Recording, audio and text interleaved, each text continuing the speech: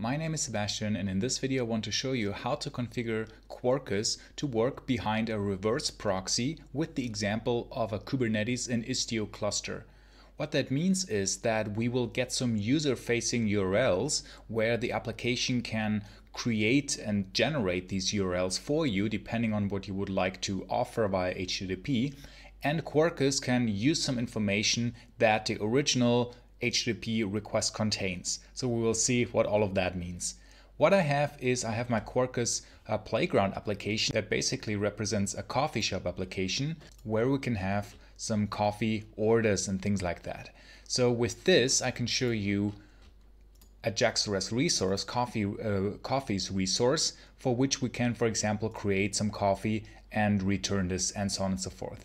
So the application there is quite straightforward. What I can show you just um, to get um, a picture, I can say, well, for example, I would like to build my application and then run it using this Quarkus run jar.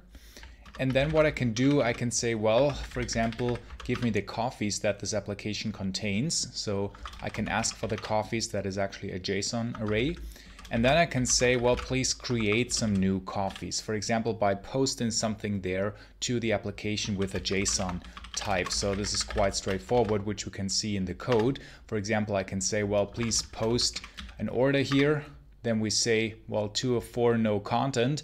And then we have hopefully two of these coffees in the system, which is the case here. So two espressos.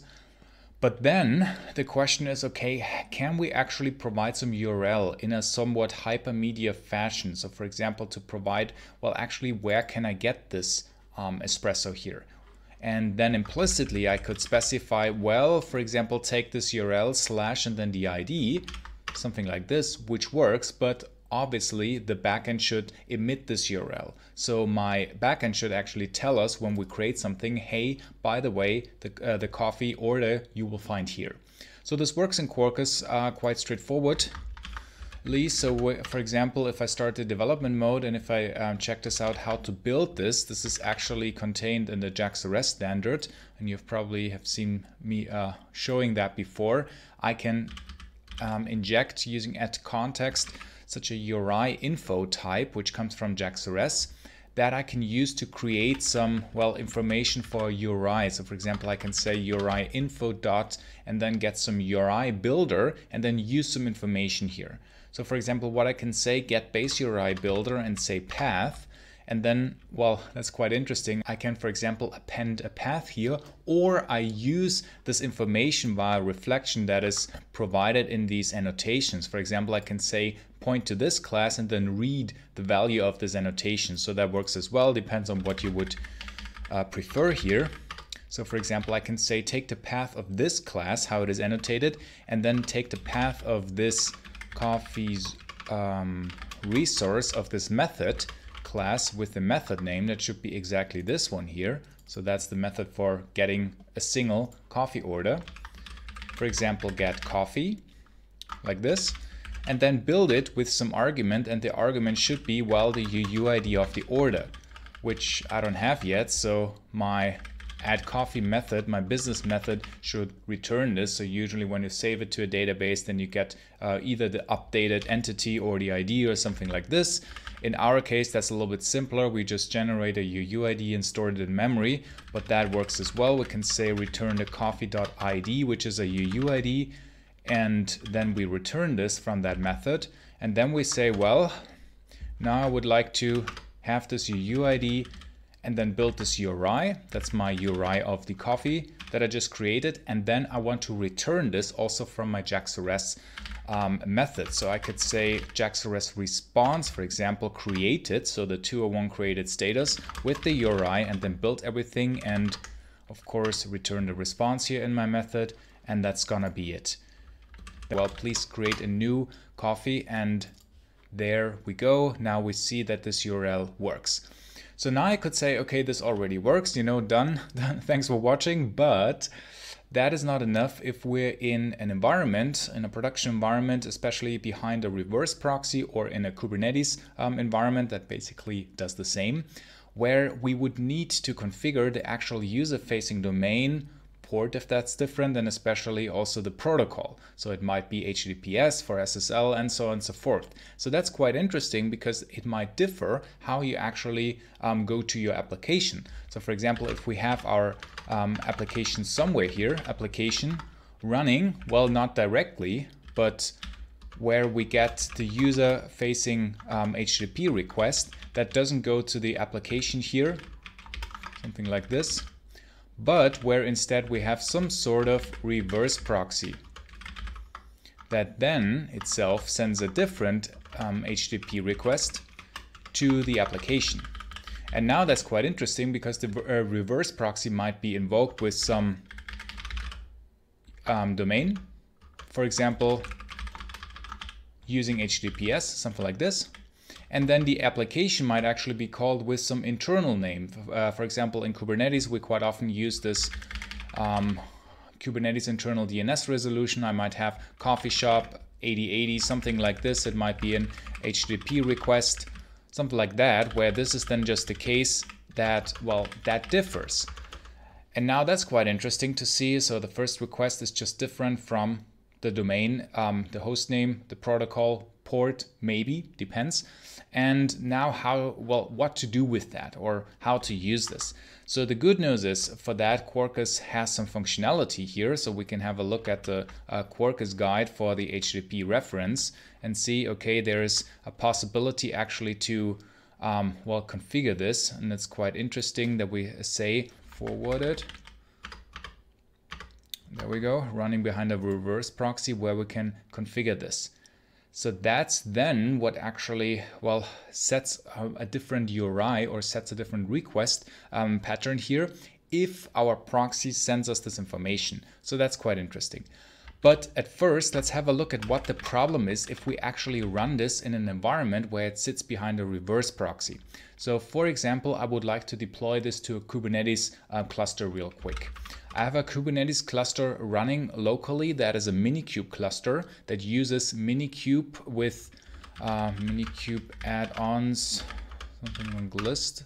I think with uh, specific add-ons that we use, especially I have um, Istio installed and this um, MetalLB, this load balancer installed so that I actually can have an IP address for a load balancing service. So I can have something approximating um, a DNS lookup locally and what I can do, let's do this real quick. First of all, in order to run this in a Kubernetes environment, I have to containerize it. So I use a Docker file here that I can, well, build this to um, a Docker um, image. So let's do this. I can say, for example, please build this first of all into my application again using Maven and then do something like a Docker build. Now I use my own um, Docker re um, registry with just some temporary name. Why? Because I want to provide it to the registry so that Kubernetes, my cluster, can uh, download it again. So I can say, well, please just build and push this image to my repository. And then I can actually deploy this to my Kubernetes setup. Let's do this real quick. What do I need for that? Well, of course, I need these Kubernetes YAML definitions, right? So for this, we will see that what I need is first of all a definition for my coffee shop. This would be in a Kubernetes world a deployment um, coffee shop. That's how I now want to call it. The image tag is temp like this and then I need a Kubernetes service. Typically I call this also not Quarkus Playground but coffee shop so that's that. Then I have a service and a deployment using one pod, one replica here that will deploy my application. So that runs already. And in my setup, I will use Istio for Istio routing. So in this case, what I would do, I will create, I wanted to actually rename that, that should reside typically, I do this in a directory, let's call this deployment, then put this there. And then in the deployment folder, or you would use a Helm chart or something similar, I can create a routing.yaml or Istio routing or however you want to call that. So for example, I say um, use a virtual service that I could call coffee shop. Then typically a destination rule. Um, as a good practice. And then also I create another gateway, which is the interesting bit that we can configure user uh, for a specific domain. So if I say um, gateway, should be something like coffee shop gateway, then we can say, well, just please configure that. So in the default way, this should be quite straightforward because we can say, well, just map everything in our case with all of the IP addresses. So here host a wildcard port 80 HTTP port to my application. That means we say for the routing perspective, uh, we use the same wildcard from the gateway that is called coffee shop gateway and then it will be routed to my application. So basically in the Istio world, that means on a gateway, I have an incoming HTTP request using some specific uh, IP address. We will see this in a second. I use the wildcard here using HTTP port 80, and that will be forwarded uh, once it arrives at, um, at this gateway to my application. Okay, so let's try this out. I will just go and say, well, kube, uh, kube control apply everything in this directory. Now I have hopefully a pod with my application. I have um, a deployment, a virtual service and all of that stuff that basically maps the whole thing there. Kube control get gateways here as well. And then if I did um, everything correctly, I can use my load balancer of my Istio system. So this is now, of course, how my setup works with my IP address. In a cloud environment, typically you would, well, obviously use the IP address of your uh, cluster provided by the cloud or some domain. Where I can say, well, curl, um, this one uh, basically should be port 80. Let's have a look. Yes, not found. That should be then um, slash coffees, I think and that is HTTP 200 OK. Okay, great. So this already works. Uh, we can say post my JSON here, type espresso, give me the HTTP headers, and then we say, okay, now this should work. This looks actually good, but the fact that it works is more like a coincidence. Why? Well, because the IP address will then just be taken from the HTTP um, request from the original one, but it might not be the case if we use a different host and especially the protocol. So this is something that you need to test in your setup if you construct the URLs in your application using this uh, Quarkus mechanism that we've seen, if that it's uh, then it still works. So for this, I will use a different example now that just showcases this. So first of all, I would like to change um, the domain. So instead of uh, using this wildcard IP address, I say, well, for example, use something like coffee.example.local. Uh-huh. So that's a thing. And then please map this host into my application. I can just change that, right? So then I can say, well, deployment, please apply this again. And now, well, obviously, if I would uh, like to apply this, so coffee example local, and say not lol, local, then it obviously doesn't work because there's no uh, DNS uh, resolution for my local IP address, obviously. So the one that you've just uh, seen before uh, with this IP address that I had here. So what I can do in curl actually for testing purposes, I can say, well, dash dash resolve. I can manually set this up here for just this domain and then um, the port. So it would be hostname colon port colon and then the IP address, which in my case uh, would be this one, should be 59105 if I remember correctly. And then this actually works. So this is also an interesting tip for testing purposes. If you have not yet configured your DNS or your setup like that, then you know this would work in that uh, perspective. Or what you can also do, um, just have a look at your uh, etc hosts uh, file on Linux and then you can set up well this table lookup for host names just for uh, local testing purposes. But it also can be a little bit dangerous because if you forget about them you can basically well re rewind all of the um, domains locally. Really good for testing purposes but don't forget about them to to reset them. Um, so this is just a possibility to te uh, to test it. Okay. Long story short let's have a look at my post scenario here, type espresso. Okay, interesting. This still works. It does use um, the host here out of the box, so that works.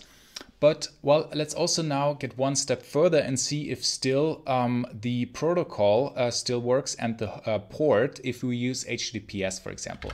So now just for you know the sake of the example, I can take this URL and then point to it and say, well, of course I need to resolve it again and so on and so forth. So that was that. Using the resolution here without the post, so just the get request on this and then it works, of course, if I use the proper resolution. But now let's try the same using HTTPS. For that purpose, um, what I have, I created some um, local certificate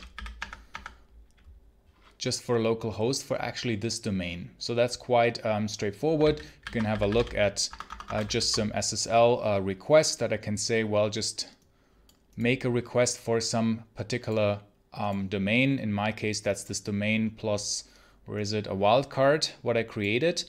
And then what I can do, you can say, well, please now provide this. How that works, of course, depends on your setup, like however you set up your reverse proxy. Now what happens actually, or what needs to happen is the following, that you use your reverse proxy, that might be my Istio proxy, or more precisely the gateway um, Istio instance in my cluster, or it might be something like an Nginx or whatever have you, to configure it with the appropriate, well, cert uh, certificates, of course, and then to forward it to my application. So then the proxy has, well, the um, valid certificates and all of that set up, for example, for my coffee example local with HTTPS and a valid certificate, and then it would forward to my application. So I've done that in my cluster. So I've created um, these certificates um, into my Minikube instance so that my uh, gateway can actually use them. How this works is as follows, that in my gateway, I, I say instead of this server configuration with port 80, I can say, well, actually for TLS, just have a redirect to also not just port 80, but port 443 and HTTPS. And then for the TLS configuration, I need to provide um, the simple mode. You can have different uh, mode setups and how you can do this. And the configuration for the certificates, which uh, looks like follows, that well, this needs to be provided at the cluster setup. Usually that's this path, uh, etc istio, and then some sort of directory where these um, uh, certificates are mounted into it. In uh, Kubernetes Istio setup, that works by um, mounting a so-called secret into it. So these um, certificates are typically being provided if some uh, with some secrets. Let's have a look at that in this Istio system um, namespace, there is some is uh, ingress gateway certificates there, and then they will be mapped and mounted into this directory, and then my gateway actually can use them. So of course that's an uh, administration config for well whatever uh, wildcard certificates you need. And now I can actually change this and use that. Let's have a look how this works. So I again apply my configuration. And now if I did everything correctly, then I should actually well be able to use it. Also, I quickly want to change my host file to just add this entry with the appropriate coffee example local with the appropriate IP address and domain name so that I don't have to have this resolution uh, each and every time in my resolve curl uh, command. And now I can um, go and say, well, curl actually provide this now with that URL without resolve and then it will tell me first of all okay with HTTPS uh, sorry with HTTP and 80 that would be 301 now a redirect to HTTPS okay fair enough. Let's try this out. Then as the next thing it says well you have a self-signed certificate so I can add or I have to add dash dash insecure or minus K and now you see, okay, interesting, that works. So it works now using HTTPS. Now, obviously, if it were a valid certificate or if I use my own CA or something like this, then I don't have to provide this parameter, but we can ignore this. And now what it does, it provides that information. Okay. But of course, the interesting part is um, the post of providing, again, the type espresso of creating a new espresso order and what it says now is oh you see this does not quite work because it didn't add the HTTPS So if I now would say, well, use this please, then it says, well, it kind of works because it has a redirect and I follow the redirect again, but that's obviously not what I want. Of course, I would like my application to provide the proper link immediately. So then how this uh, how this works is now I need to do something in my application. So for example, I would need to go to my code and say, well, how do you create um, this request here? So now this is something that uh, gets a little bit more complicated because then we need to check for different conditions, like if my request has some extra header information. But luckily, Quarkus solves something uh, here for us. So what I can do, if we have a look at the guides again, I can add some properties for which then Quarkus will um, automatically take these HTTP headers into account. So this is how almost all of the uh, reverse proxies work or how they should work usually is that once the um, original user request arrives at the reverse proxy, then obviously the request was sent for a different host, a different uh, port typically, IP address and all of that. And then this information might be preserved and sent to the backend in specific HTTP headers. And these are the standard or de facto standard headers that also are supported by Quarkus, which is also being used from, depending on your setup, in my case, Kubernetes with Istio. So these um, headers, especially, I think it's the protocol host and port that is um, being used for me. So the protocol is the one that is now still missing because that is HTTP now instead of HTTPS, what it should be. But luckily what we can do, we can use some properties here to set this up in Quarkus. So in my Quarkus application, I go to my properties and say, well, for the proxy, I would say, well, um, please, uh, first of all, allow the proxy address forwarding. So set this to true. And then it depends what you actually need. So in my case, I would need these two. So you can have a look at that. So either the um, de facto header that is the forwarded header will be considered or, well, these forwarded, these X forwarded headers, which is what I need. So I will actually add these two uh, parameters to say forwarded, um, well, host and, uh, and prefix and all of, the, um, all of them. So then they will be taken into account.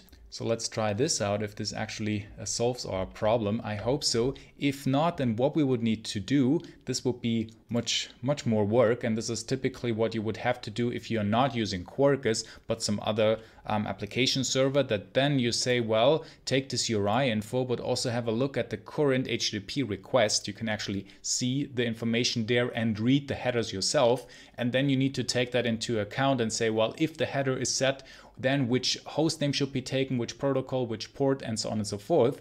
But luckily, we can quite easily configure and use that using these properties in Quarkus. So now what I have to do, I basically have to rebuild my application and say, okay, now, of course, uh, rebuild this in a new way and now do the Docker build once again. I just overwrite the same tag. That's just fine for testing purposes. Push this again and now what I can do, well, I can trigger a new deployment and things like that, but I always have the image pull configured. So what I now just do, because just to be evil, I delete the pod and then quite quickly the deployment and the um, replica set will create a new one. And this is now this new version that uses my updated image actually, because I always have the image um, to be pulled. And once that is up and running, I can uh, create this try this one more time. So I say, okay, for this curl request HTTPS, let's try this out. Yes, certificate. Okay, great. And now try the post again like this. And now we see, great, now this works using the same information that the user sent. So the user facing URL using HTTPS and the proper domain. Well, of course, without a port. So that would just use the default port 443 and then I can just use the same URL to access my application and then just to follow this hypermedia link. So this is how you can set up these links and use them um, in Quarkus for Quarkus applications that run behind a reverse proxy, especially for a Kubernetes and Istio environment, which is what I showed you. I will provide some more resources how and where to get this code, also how to set up your Minikube cluster for your local uh, setup if you would like to test this. And also, if you found this interesting, you might uh, want to check out a course that I have on effective uh, Quarkus usage, link down below. And if you found this helpful, I would really appreciate a like and thanks a lot for watching. Bye.